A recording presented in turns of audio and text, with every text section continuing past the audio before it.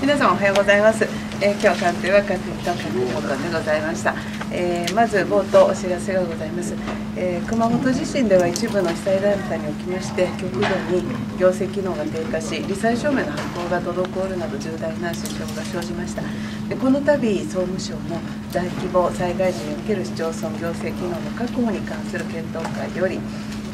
災害発生時に市町村のトップマネジメントマンパワー庁舎等の物的環境の3点を簡潔なチェックリスト方式で把握し、市町村からの報告がない場合には都道府県や国からのアウトリーチにより、え、把握すべきことなどが提言されました。で総務省からは来月の早い時期に全国の地方団体に対して研究会の提言を踏まえた災害時の体制を平時の段階から整理していただくよう要請いたします。でまたこうした被災団体の状況把握を適切な応援職員の派遣につなげるということが、えー、大変重要でございます。このため新たに応援職員の派遣の在り方に関する研究会を設置いたします。この研究会は今月から開催し被災団体のニーズに応じ総務省が司令塔機能を果たしつつ全国的な応援職員派遣を迅速に行う仕組み、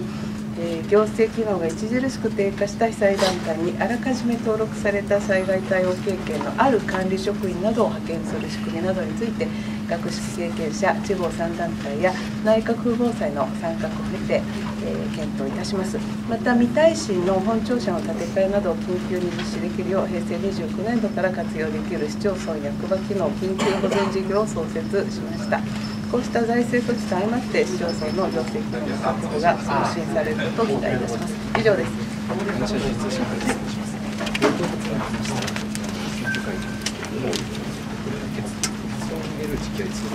は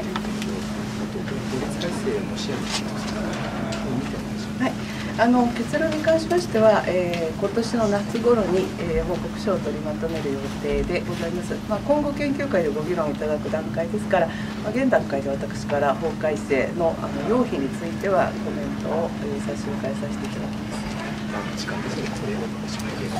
し訳ありません。じゃああの委員会のためご協力ありがとうございました。ありがとうございました